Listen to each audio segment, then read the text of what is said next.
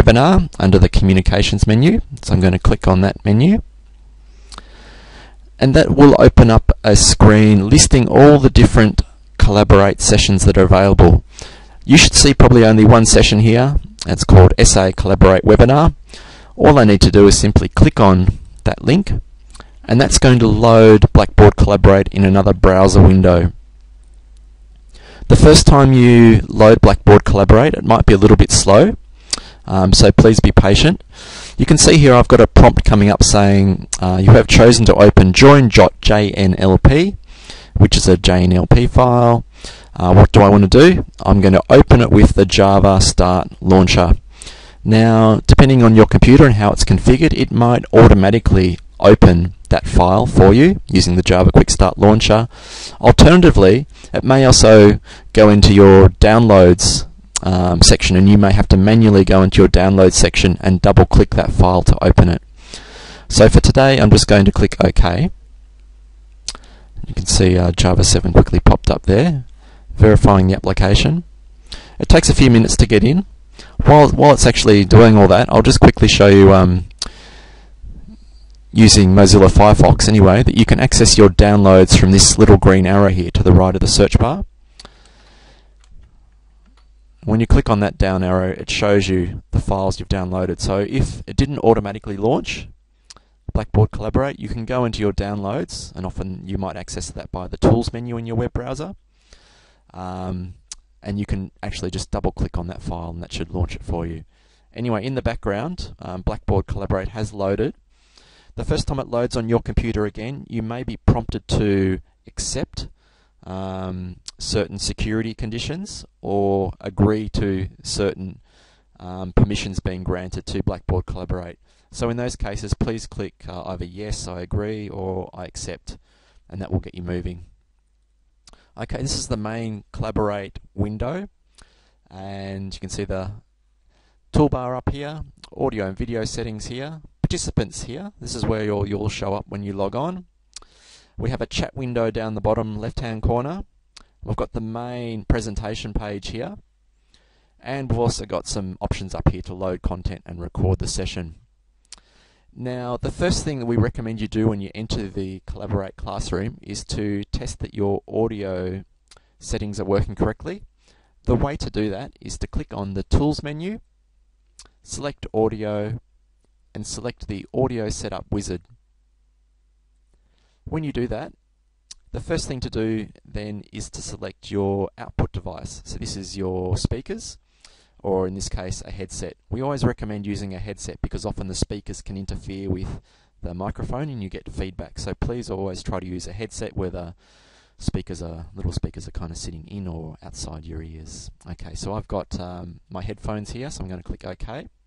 I then click the play button and then Collaborate plays for me some text and I determine whether I can hear it or whether I need to increase the volume using this slider here. I can hear the sli I can hear it so I can click stop. You can listen to the, the whole thing if you want later. Um, and says you uh, were you able to adjust the speaker volume comfortable listening levels? Yes, I could. If you couldn't, you may need to go back and have a look at your speaker settings. Again, I'm using Microsoft Windows 7, so your computer may be different.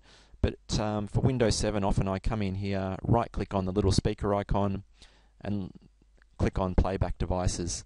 And there I can see which speaker is set to be the default one to use.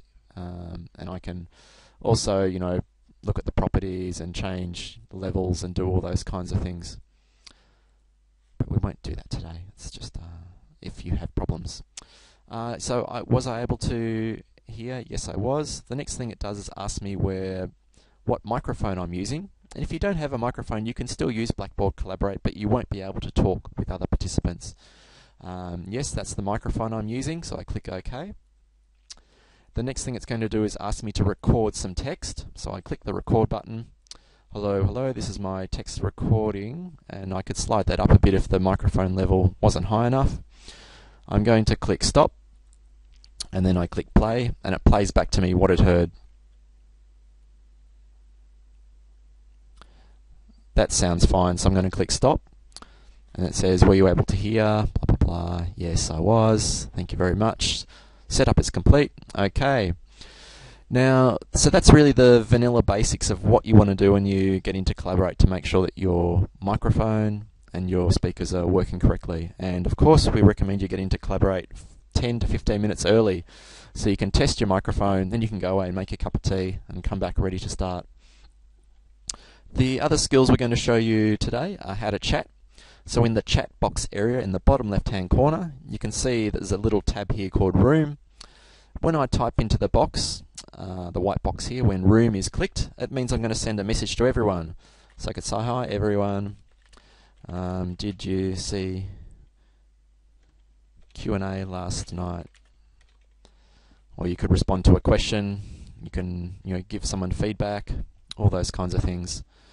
The other option down the bottom left hand corner there's a tab called moderators. So if you click the moderators tab and send a message, it's just a message that will go to the mods, moderators, and that would be, for example, Joy, or it could be someone else who's facilitating the session. And so this is a way maybe you can excuse yourself, or you have to leave early for some reason, or you don't understand a particular topic. Um, maybe that's a way of addressing them more personally without letting everyone else know what you're thinking. The next thing I want to do is demonstrate how you give feedback. So in the main participant window up here, there is a smiley face icon. And you can choose any of these icons, but essentially when you select an icon, it comes up next to your name here and as a way of giving feedback to a question or to a comment or just uh, your mood in general. So maybe if the presentation's moving too slow, you can say, oh, let's make it faster. Or if you're having troubles catching up, you could ask to make it slower. Often um, your facilitator will ask you to give a smiley face if you can hear them or if you understand or if you're ready to move on. So it's again, it's a quick way of getting um, people's feedback. The other th next skill I want to show you is how to talk in a Collaborate session. So generally speaking, when you join the Collaborate session, you'll be listening, observing, giving smiley faces, chatting. However, you won't be talking the whole time because if everyone talked together, we wouldn't be able to understand anything that was going on. So generally, as a participant in the classroom, the procedure is that you first raise your hand when you want to speak. So if you've got a question or you want to give some um, feedback, then generally you raise your hand. You can see here I've got a little number one next to me. That means I'm number one in the queue to have my question or my concern addressed. And your facilitator will probably say, okay, Martin, I can see you've got your hands raised there. Would you like to say something? When that's happened, you can then lower your hand and you can click the talk button up here. Once you click the talk button, everyone else in the Collaborate room can hear what you're saying.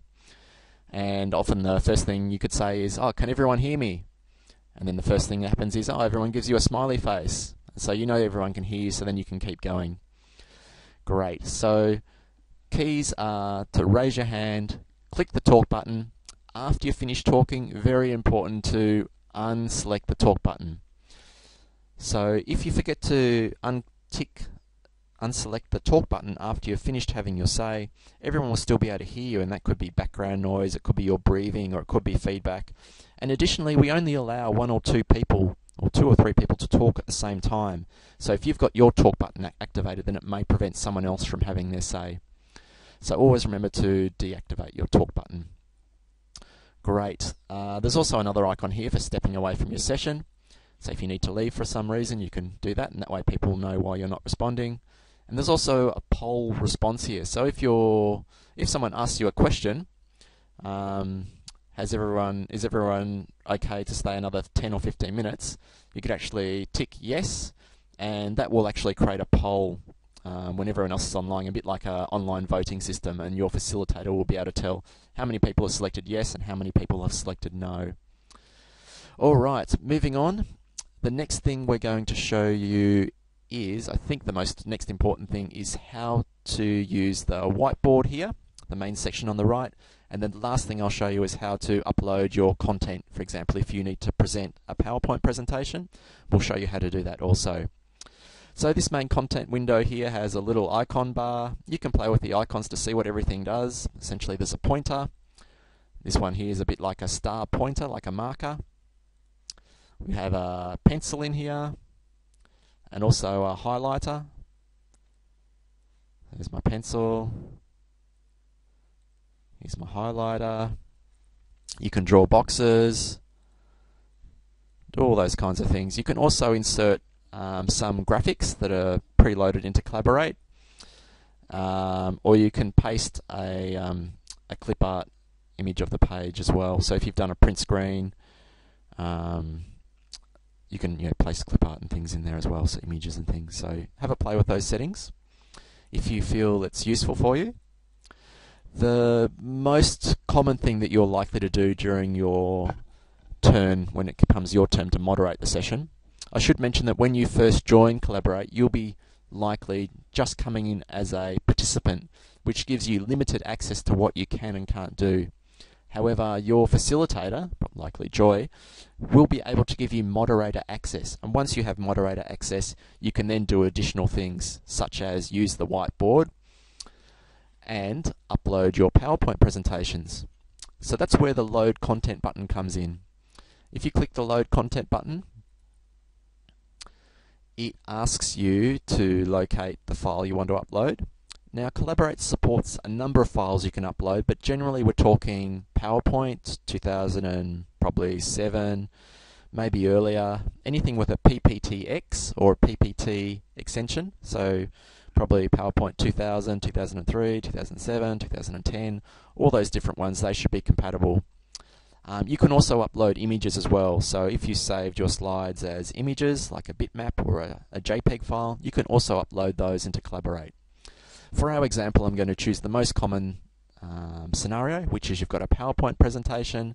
Click on the PowerPoint presentation, click Open. I may have to close PowerPoint for that to work, so just bear with me. Uh, yes. Let's try that again. I had to close PowerPoint because it uses some special features of PowerPoint to make this work. Let's try again. You can see here it's generating the PowerPoint slide images. Basically, it transforms each slide into a image, um, which means that any animations or special features you have in your slides won't work. It will only be basically an image of your slide that gets included. So just keep that in mind. Okay, so that process is now finished. I only had three slides in my presentation. You can see the first slide's loaded here, slide one. I then have slide two here. Double click on slide two. And you can see slide two now becomes the focus. Now, other participants will be able to see all the slides you're presenting here because it's in the main whiteboard area. Again, click onto slide three, and you can also, you know, as you're presenting, after you've loaded your slides, you can then click the talk button, and now I'm presenting, and everyone can hear me, everyone can see the slides moving. And if I want to, I can go back to the public page no one can see my slides, it's not ruining the presentation for everyone, no one's being distracted. Or if I need to, I can you know, click the text icon and say, you know, write some more key points. I forgot to demonstrate the text icon before, so there you see, you can um, do text as well.